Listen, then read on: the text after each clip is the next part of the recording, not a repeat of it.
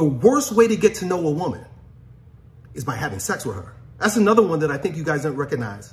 That if you're trying to get to know a woman, the best thing you could do is not be chemically addicted to her. And that's exactly what happens. I don't care what anybody says because I speak to thousands of men. Hundreds of men are in my coaching program.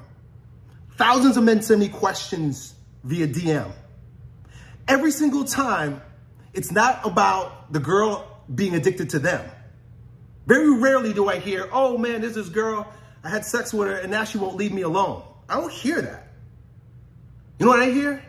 Oh man, I'm having sex with this girl and I can't get her out of my mind and she's treating me like shit, but I can't leave her. Elliott, what do I do? I have this girlfriend for the past six years and I, every time I try to dump her, I can't. Every time I try, she throws a temper tantrum and shows me how horrible her character is. I just can't leave her. I can't get away from her. My next question is, are you having sex with her? Yeah. Well, you need to stop having sex because that's what's keeping you hooked. She's a drug dealer. You think drug addicts love their drug dealers? No, they love the drug. That's why they keep going back. Their drug, you think their drug dealer respects the drug addict? No, that's it. That's an abusive relationship. The drug dealer knows this, this motherfucker needs what I got. And so as long as I got what he needs, he gonna keep slinking his little snatty butt around here. And I got him hooked. And I can treat him any way I want because he needs my drug. That's how the girls treat you guys. Why? Because you're fornicating. There's a reason why it's a sin. Not because God doesn't want you to have a good time. Because he doesn't want you to fall into the folly of fornicating with a bad woman that ain't going to be a good wife. If that's what you want. Once again, if you like that, then that's cool.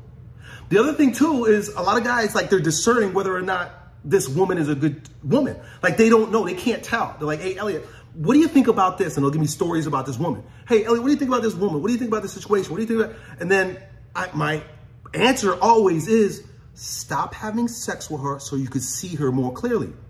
As long as you got the sex goggles on, you can't see a woman for what she is. I get it. A lot of guys talk about post-nut clarity and stuff. And listen, I'm just giving you wisdom based on my experience. And it's not about boning a lot of bitches.